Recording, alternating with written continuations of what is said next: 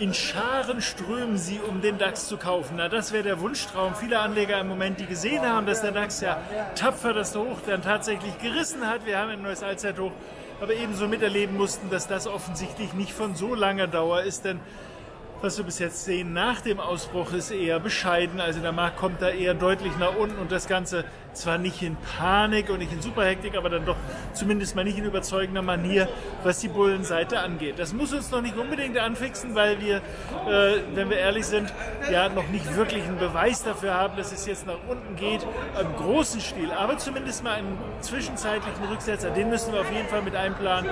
Das ist auf jeden Fall etwas, was jetzt äh, machbar ist. Insbesondere wenn wir nach Amerika guckt, eben auch, dort haben wir einen Markt, der ebenfalls nicht wirklich von Stärke zeigt, oder zeugt, nämlich nach unten fallend, aber das ebenfalls nicht stark. Also wenn man sich zum Beispiel den Dow Jones mal anguckt, Future beispielsweise, dann sieht man, dass wir immer noch die Schubweise auf der Oberseite haben, aber die Abwärtsseite relativ hängend, also so eine Art Bullenflagge.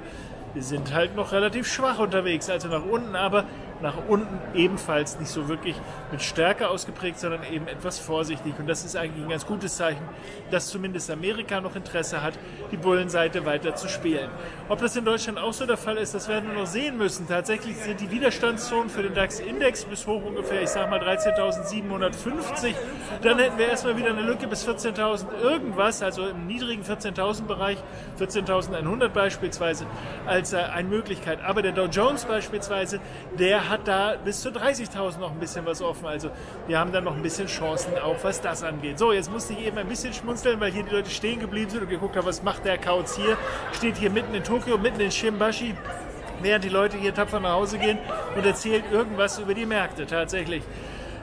Ich hatte hier eben gerade eine Verabredung. Wir haben über Gold gesprochen. Gold ist tatsächlich ein interessantes Thema, natürlich für viele, nicht nur als äh, physisches Instrument, auch als Trading-Instrument und auch als Indikator für einige zumindest mal, die sagen, das ist doch Safe Haven Bonus, also der sichere Hafen, wenn nichts mehr geht, dann gehe ich halt da rein.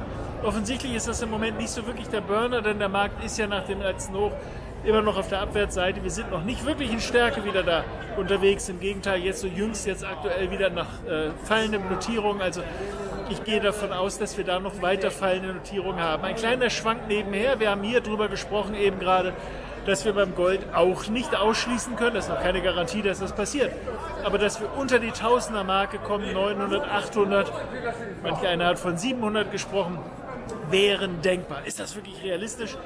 Ich glaube, als Trader müssen wir uns dafür jetzt keine oder darüber keine ganz großen Gedanken machen, denn wir werden diese Bewegungen ja alle im Stückweise mitmachen können. Das machen wir im Trade des Tages oder über den äh, äh Service Trade to Go, den Sie sich gerne mal angucken können, dass Sie die Nachrichten auch aufs Handy bekommen.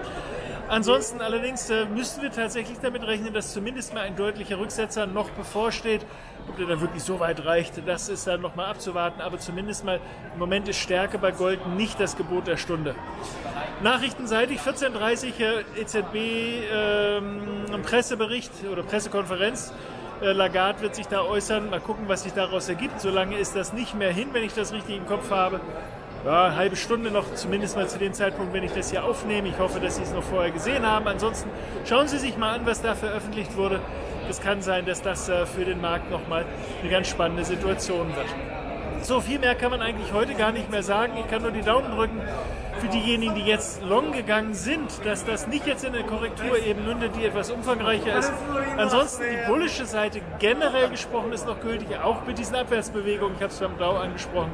Für den DAX geht grundsätzlich das Gleiche. Allerdings würde ich mir wünschen, dass wir dann nochmal so einen Zacken haben.